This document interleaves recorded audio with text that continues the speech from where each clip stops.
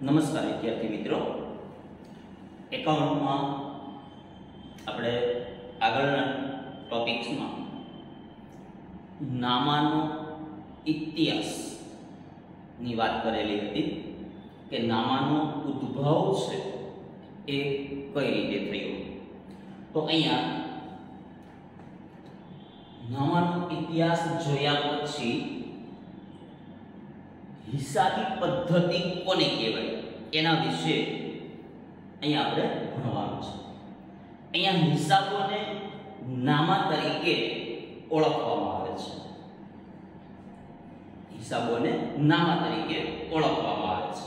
અને હિસાબી પદ્ધતિના પર્યાય તરીકે અહીંયા નામા પદ્ધતિનો ઉપયોગ છે એ કરવામાં આવે છે. આપણા પાઠ્યપુસ્તકમાં નામા પદ્ધતિના સ્થાને હિસાબી પદ્ધતિ એવા શબ્દનો અહીંયા ઉપયોગ છે એ કરવામાં આવે છે. અહીં નામા પદ્ધતિ એવો શબ્દ નથી બોલતા, પણ હિસાબી પદ્ધતિ એવો શબ્દ છે એ બોલે છે. તો અહીં આપણે પ્રકરણની શરૂઆત કરીએ. તો આપણું પહેલું પ્રકરણ. એમાં પહેલી વિગત છે દ્વિનોંધી નામા પદ્ધતિનો અર્થ અથવા તો હિસાબી પદ્ધતિનો અર્થ. પહેલા તો આપણે એનો અર્થ સમજીએ. તો અહીંયા American Institute of Certified Public Accountants, એનો શોર્ટકટ નેમ છે AICPA ના જણાવ્યા મુજબ. કોણે આપી વ્યાખ્યા? American Institute of Certified Public accountants AICPA ના મત મુજબ અથવા તો એના જણાવ્યા મુજબ વ્યાખ્યા આપણને આપેલી છે કે હિસાબી પદ્ધતિ એ વ્યવહારો અને બનાવો જે નાણાકીય લક્ષણ ધરાવતા હોય, તેમને નાણાંના સ્વરૂપે નોંધવાની, વર્ગીકરણ કરવાની તેમજ તારણો કાઢીને તેના પરિણામોનું અર્થઘટન કરવાની કળા છે. અહીં આપણને આવી એક વ્યાખ્યા છે એ આપેલી છે. તો હિસાબી પદ્ધતિ એ વ્યવહારો અને બનાવો. વ્યવહાર કોને કહેવાય? પહેલા તો આપણે, તો વ્યવહાર કોને કહેવાય? તો આપણે સાદી રીતે આપણે વ્યાખ્યાની દ્રષ્ટિએ નથી જોવું, પણ વ્યવહાર એટલે કોઈ વસ્તુ કે સેવાના બદલામાં નાણાંની લેવડ દેવડ. તેને વ્યવહાર કહેવાય. દાખલા તરીકે, તમે કોઈ વસ્તુ ખરીદી હોય, અથવા તો તમે કોઈ વસ્તુ વેચી હોય, તો એના બદલામાં કાં તમે નાણાં ચૂકવો છો, અથવા તો તમે કાં નાણાં મેળવો છો. તો એને આપણે વ્યવહાર કહીએ છીએ. અને વ્યવહાર છે એ બે કરતા વધુ વ્યક્તિઓ સાથે થતો હોય. બે વ્યક્તિ તો જોઈએ, એટલે બે અથવા બે કરતા વધુ વ્યક્તિઓ વચ્ચે વસ્તુ કે સેવાના બદલામાં નાણાંની લેવડ દેવડ, જેને આપણે વ્યવહાર તરીકે ઓળખીએ છીએ. તો આ વ્યવહારો અને બનાવો જે નાણાકીય લક્ષણ ધરાવતા હોય, જો પહેલો શબ્દ તમને આપેલો છે કે અહીંયા તમે જે વ્યવહારો કરો છો, એ વ્યવહાર એવા હોવા જોઈએ. તો કે નાણાકીય લક્ષણ ધરાવતા હોય. હવે દાખલા તરીકે હું વ્યવહાર અહીંયા લખું. હાલો, પહેલો વ્યવહાર હું લખું કે સો કિલો ઘઉં ખરીદ્યા. આપણે વ્યવહાર છે. પણ હું એક આ જ વસ્તુને અલગ રીતે લખું કે રૂપિયા એક હજારના સો કિલો ઘઉં ખરીદ્યા આ બંનેમાં શું ડિફરન્સ છે આપણે ઘણી વખત આવું કહીએ છીએ કે અમે 100 કિલો ઘઉં ખરી અથવા આપણે ઘણા નિયમય બોલીએ છીએ કે રૂપિયા 1000 ના 100 કિલો ઘઉં ખરીદ્યા આ બંનેમાં ડિફરન્સ આને વ્યવહાર કહેવાય, આને પણ વ્યવહાર જ કહેવાય. તો અહીંયા બંનેમાં ડિફરન્સ એ છે કે આ પહેલો વ્યવહાર છે, એમાં નાણાકીય લક્ષણ નથી. જો નાણાકીય લક્ષણ ન હોય અને તમે એને હિસાબી ચોપડે નોંધો, તો તમે પરિણામ શું મેળવશો? કે 100 કિલો ઘઉં ખરીદ્યા પછી એમાંથી તમે લખશો 80 કિલો ઘઉં વેચ્યા 20 કિલો ઘઉં આપણી પાસે છે. આવા હિસાબો રાખશો તમે? તો કે નહીં. તો અહીંયા આપણા ધંધામાં જે વ્યવહારો કે બનાવો બને છે એ વ્યવહારો નાણાકીય લક્ષણ ધરાવતા હોવા જોઈએ તો અહીંયા રૂપિયા 1000 અને નાણાકીય લક્ષણ અહીં તમે વસ્તુના બદલામાં નાણાં ચૂકવો છો તમે શું લીધું તમે ઘઉં ખરીદ્યા અને આ ઘઉં ખરીદ્યા એની સામે તમે શું કર્યું તો કે નાણાંની ચૂકવણી કરી તો આનો અર્થ એમ થાય. કે વસ્તુની સામે નાણાંની ફેરબદલી. તમે વસ્તુ ખરીદી. એની સામે તમે નાણાંની ચૂકવણી કરી. તો નાણાંની ચૂકવણી કેટલી કરી? તો કે રૂપિયા 1000 તો રૂપિયા 1000 એ વ્યવહારની અંદર નાણાકીય લક્ષણ ધરાવે છે એવું કહી શકીએ. તો આપણા ધંધાની અંદર જે વ્યવહારો અને બનાવો બને છે એ કેવા હોવા જોઈએ? તો કે એ નાણાકીય લક્ષણ ધરાવતા હોવા જોઈએ. એટલે કે એની અંદર નાણાકીય મૂલ્ય છે એ હોવું જોઈએ. તેમને નાણાંના સ્વરૂપે નોંધવાની, જો નાણાંના સ્વરૂપે નોંધવાની, તો એનો અર્થ એમ થાય કે આપણે જે હિસાબની પદ્ધતિ છે, આપણે જે હિસાબો લખવાના છે, એ હિસાબો કઈ રીતે લખવાના છે? તો કે નાણાંના સ્વરૂપે નોંધવાની. નાણાંના સ્વરૂપે નોંધવાની. એટલે આપણે આપણા ધંધાના જે હિસાબો લખીએ છીએ, એ નાણાકીય સ્વરૂપે હોવા જોઈએ. એટલે એની અંદર નાણાંનું મૂલ્ય હોવું જોઈએ. તો આ વ્યવહારો છે, એ નાણાકીય લક્ષણ ધરાવતા હોવા જોઈએ અને એને નાણાંના સ્વરૂપે નોંધવાની, વર્ગીકરણ કરવાની જો. એની જો ટોપિક, નાણાંના સ્વરૂપે નોંધવાની અને વર્ગીકરણ કરવાની. આપણે એક શબ્દ છે. વર્ગીકરણ કરવાની એટલે શું? તો કે આપણે આપણા ધંધાની અંદર જે વ્યવહારો કરીએ છીએ, એ વ્યવહારો માત્ર આપણે ખરીદીના નથી કરતા.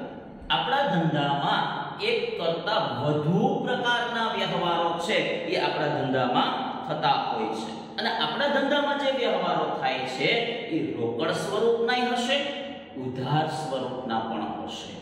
આપણે કોઈને ઉધાર વસ્તુ વેચતા હશો અથવા તો આપણે કોઈ પાસેથી ઉધાર વસ્તુની ખરીદી કરતા હશો, અથવા તો આપણે આપણા ધંધામાં રોકડેથી ખરીદી કરતા હશું, અથવા તો આપણે આપણા ધંધામાં ઉધાર ખરીદી આપણા ધંધાની અંદર બે પ્રકારના વ્યવહારો થાય. એક રોકડ સ્વરૂપે અને એક ઉધાર સ્વરૂપે. તો આ જે વ્યવહાર થાય એ રોકડ સ્વરૂપે, ઉધાર સ્વરૂપે વ્યવહાર કરીએ છીએ એ માત્ર ખરીદીના નથી કરતા. આપણે વસ્તુના, વસ્તુ એટલે કે આપણે જે ચીજ વસ્તુનો વેપાર કરીએ છીએ, જેને આપણે એ ચીજ વસ્તુને માલ કહીએ છીએ. તો એ માલ અંગેના વ્યવહાર હશે ખર્ચ અંગેના વ્યવહાર હશે આવક અંગેના વ્યવહાર હશે અને મિલકત અંગેના વ્યવહાર હશે આ વ્યવહારો છે એ રોકડ સ્વરૂપે હશે અને ઉધાર સ્વરૂપે હશે. તો આજે વ્યવહાર આપણે રોકડ સ્વરૂપે કે ઉધાર સ્વરૂપે અલગ અલગ પ્રકારના વ્યવહારો કરીએ છીએ. એ વ્યવહારોને આપણા ચોપડામાં નામાના નિયમો મુજબ નોંધવા પડે. એના સિદ્ધાંતો મુજબ આપણા ચોપડામાં એને નોંધવા પડે. તો એ એક જ જગ્યાએ એને વ્યવસ્થિત રીતે એને નોંધવાની જે પ્રક્રિયા છે એ આપણે કરવી પડે. જેથી કરીને આપણને ખ્યાલ આવે કે આપણા ધંધાની અંદર કેટલી આવક થઈ, કેટલો ખર્ચ થયો આપણા ધંધામાં કેટલી મિલકત છે? કેટલી મિલકત આપણા વર્ષ દરમિયાન ખરીદી? કેટલી મિલકતોનું વેચાણ કર્યું? આપણા ધંધામાં કેટલો માલ છે? કેટલા માલની ખરીદી કરી? એમાંથી રોકડ ખરીદી કેટલી છે? ઉધાર ખરીદી કેટલી છે? વર્ષના અંતે આપણી પાસે સ્ટોક કેટલો છે? આ બધી બાબતો અહીંયા આપણે જાણી શકીએ છીએ. તો અહીંયા જે વ્યવહારો છે, તો આ વ્યવહારોનું આપણે શું કરવું પડે? વર્ગીકરણ કરવું પડે. તો એ વ્યવહારોનું વર્ગીકરણ કરવાની તેમજ તારણો કાઢીને તેના પરિણામોનું અર્થઘટન કરવાની કળા છે. એટલે કે આપણે જે વ્યવહારોને નોંધીએ છીએ, એનું તારણ કાઢવું પડે કે આપણા ધંધાની અંદર કુલ આવક કેટલી છે. એની સામે કુલ ખર્ચ કેટલો છે. દાખલા તરીકે અહીં કુલ ખર્ચ છે એ 5000 રૂપિયા હોય અને આવક છે એ 10000 રૂપિયા હોય તો હવે આપણે આનું વર્ગીકરણ કરીને તારણ કાઢીએ, તો તારણ શું નીકળશે? તો કે ખર્ચ કરતા આવક વધારે છે. ખર્ચ કરતા આવક વધારે છે, તો કેટલી આવક વધારે છે? તો કે આવક દસ હજાર હતી, એમાંથી ખર્ચ 5000 રૂપિયાને આપણે બાદ કરી નાખીએ. તો આવકનો વધારો આપણી પાસે કેટલો વધે? 5000 રૂપિયા. તો અહીંયા એવા પ્રકારના આપણે જે વ્યવહારો નોંધીએ છીએ, એ વ્યવહારોનું વર્ગીકરણ કરી અને આપણે એનું તારણ કાઢવું પડે. અને તારણ કાઢી અને તેના પરિણામોનું અર્થઘટન કરવું પડે. આપણને જે પરિણામ મળ્યું, અહીંયા શું પરિણામ મળ્યું? તો કે અહીંયા આવક કરતા ખર્ચ ઓછો છે. એટલે કે અહીંયા આવકનો વધારો 5000 રૂપિયાનો છે. કારણ કે આવક 10000 છે, એમાંથી 5000 રૂપિયા ખર્ચ કાઢી નાખો. આપણી પાસે 5000 રૂપિયાની હજુ આવક વધે એટલે કે અહીંયા ખર્ચ કરતા આવકનો વધારો આપણને જોવા મળે છે. તો એવા જે પરિણામો છે, એ પરિણામોનું અહીંયા શું કરવું પડશે? તો કે એનું અર્થઘટન કરવું પડે. અર્થઘટન એટલે શું? તો કે ખર્ચ અને આવક વચ્ચેનો તફાવત. એને અર્થઘટન કહેવાય. અહીંયા આપણે જે વ્યવહારો કરીએ છીએ, એ વ્યવહારોનું ખર્ચ અને આવક એ બંને વચ્ચેનો જે તફાવત છે એને અર્થઘટન કહેવાય. તો અહીંયા આપણને જે પરિણામ મળે છે, એ પરિણામોનું અર્થઘટન કરવાની એક કળા છે. તો અહીંયા, આ રીતે અહીંયા આપણને AICPA ના મત મુજબ અહીંયા આપણને વ્યાખ્યા આપેલી છે. ફરી વ્યાખ્યા કે હિસાબી પદ્ધતિ એ વ્યવહારો અને બનાવો જે નાણાકીય લક્ષણ ધરાવતા હોય, તેમને નાણાંના સ્વરૂપે નોંધવાની વર્ગીકરણ કરવાની તેમજ તારણો કાઢીને તેના પરિણામોનું અર્થઘટન કરવાની એક કળા છે. અથવા એક બીજી વ્યાખ્યા પણ આપેલી છે. કોણે આપી? તો કે અમેરિકન સ્ટાન્ડર્ડ કાઉન્સિલ. એનું ટૂંકું નામ છે એ એસ સી અમેરિકાનો, અમેરિકનનો એ સ્ટાન્ડર્ડ્સનો એસ અને કાઉન્સિલનો સી તો ASC ના જણાવ્યા મુજબ, એને શું વ્યાખ્યા આપી?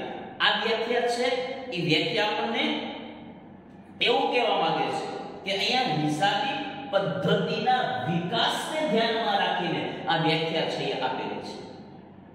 અહીંયા હિસાબી પદ્ધતિના વિકાસને ધ્યાનમાં રાખેલી છે. અને એને આ વ્યાખ્યા આપેલી છે કે હિસાબી પદ્ધતિ એ સેવાની પ્રવૃત્તિ છે. જો હિસાબી પદ્ધતિ એ સેવાની પ્રવૃત્તિ છે, સેવા એટલે શું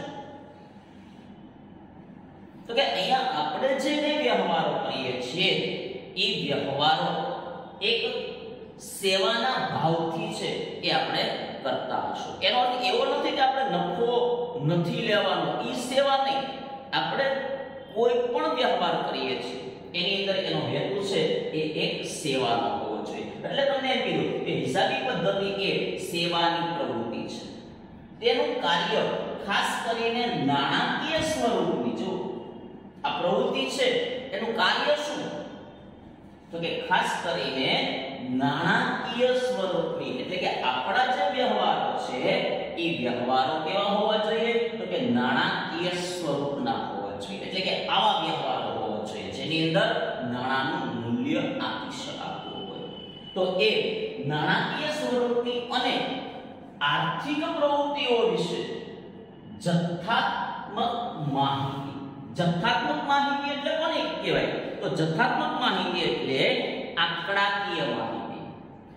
તો અહીંયા આર્થિક પ્રવૃત્તિઓ વિશે જથ્થાત્મક માહિતી એટલે કે આંકડાકીય માહિતી આપવાનું છે કે જેનો હેતુ આર્થિક નિર્ણયોમાં મદદરૂપ થવાનો છે. એટલે કે અહીંયા આપણા જે વ્યવહારો છે, એ વ્યવહારો સેવાની પ્રવૃત્તિના વ્યવહારો છે. તેનું કાર્ય નાણાકીય સ્વરૂપના નોંધવાના અને આર્થિક પ્રવૃત્તિઓ વિશે જથ્થાત્મક માહિતી આપવાનું એટલે કે નાણાકીય કાર્ય, નાણાકીય માહિતી આપવાનું છે, જેનો હેતુ આર્થિક નિર્ણયોમાં મદદરૂપ થવાનો છે. આર્થિક નિર્ણયોમાં મદદરૂપ થવાનો છે, તો અહીંયા નિર્ણયો છે આપણા ધંધાની અંદર જે કાંઈ નિર્ણયો લઈએ છીએ, એ નાણાના આધારે નિર્ણયો જો આપણી પાસે નાણાં હશે, તો આપણે ભવિષ્યમાં શું કરવું? એના નિર્ણયો છે, એ આપણે લઈ શકીએ. કે આપણી પાસે નાણાં હશે, દાખલા તરીકે શેર હોલ્ડર હોય, તો શેર હોલ્ડર પાસે નાણાં હશે, તો એ કોઈ પણ કંપનીના ક્યાં કેટલા શેર ખરીદવા? એનો નિર્ણય છે, એ લઈ શકે. કોઈ પણ કંપની છે, આપણો ધંધો હોય, તો આપણા ધંધાના આર્થિક વિકાસ માટે શું કરવું? તો જો આપણી પાસે નાણાં હશે, તો આપણે એ નિર્ણયો લઈ શકશું. તો અહીંયા આંકડાકીય માહિતી જે છે, એનો હેતુ છે એ આપણા ધંધામાં નિર્ણયો લેવાનો મદદરૂપ થવાનો છે. એટલે કે આપણી પાસે જો આંકડાકીય માહિતી મુજબ હિસાબો નોંધેલા હશે તો આપણને આંકડાકીય પરિણામ મળશે અને આંકડાકીય પરિણામ એટલે કે નાણાં સ્વરૂપે પરિણામ મળશે જેને આપણે નોંધી નાણાંના મૂલ્યમાં નોંધી શકીએ છીએ. તો આ પરિણામ ઉપરથી આપણે આપણા ધંધાના નિર્ણયો છે એ લઈ શકતા હશું. તો આ રીતે અહીં આપણને બે વ્યાખ્યા આપેલી છે. એક, American Institute of Certified Public Accountants અને એક અમેરિકન સ્ટાન્ડર્ડ કાઉન્સિલ. તો અહીંયા વ્યાખ્યા ઉપરથી આપણે એવું કહી શકીએ કે આપણા ધંધાની અંદર જે કંઈ વ્યવહારો બનાવો બને છે, એ વ્યવહારો છે, એ નાણાકીય લક્ષણ ધરાવતા હોવા જોઈએ. એને નાણાંના સ્વરૂપમાં નોંધેલા હોવા જોઈએ. એને વ્યવસ્થિત રીતે એક જ જગ્યાએ નોંધેલા હોવા જોઈએ કે જેથી કરીને એ વ્યવહારોનું વર્ગીકરણ કરી શકાય અને વર્ગીકરણ કરી અને તેના તારણો કાઢી અને તેના પરિણામોનું અર્થઘટન છે એ આપણે કરી શકતા હોવા જોઈએ. તો અહીંયા આ રીતે જે હિસાબો લખીએ છીએ, એને હિસાબી પદ્ધતિ તરીકે એટલે કે નામા પદ્ધતિ તરીકે ઓળખવામાં આવે છે. તો અહીંયા આપણે બે વ્યાખ્યા છે. જોઈએ, ત્યાર પછી આપણે આગળ ચાલીએ.